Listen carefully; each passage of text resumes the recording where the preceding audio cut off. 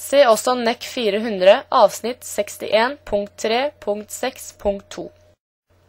Grunnen til at vi kontrollerer overgangsresistansen, er for å tilse at alle jordpunkter har bra kontakt med jordsmonnet. Først tar vi for oss topunktsmetoden.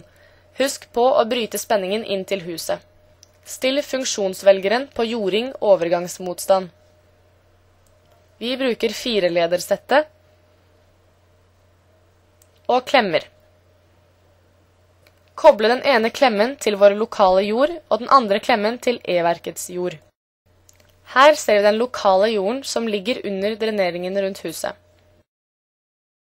Og her er E-verkets jord inn til huset.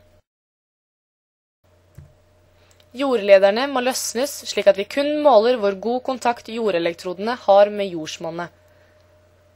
Trykk på start. Les av verdien og noter den. En annen måte å måle overgangsmotstanden er trepunktsmetoden. Den lokale jordingen må kobles fra slik at jordelektroden ikke har noen kontakt med annen jord. Trykk på hjelp for å se hvordan en kobler instrumentet. Koble instrumentet til den løse jordelektroden og sett funksjonsvelgeren på jording overgangsmotstand. Koble til måleledningene og hjelpespydene.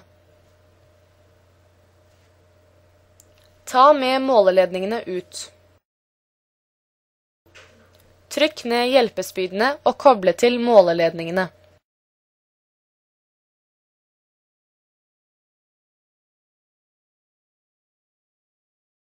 Trykk på start og les av og noter resultatet. Vær nøye med å feste alle jordelektroder etter at målingen er ferdig.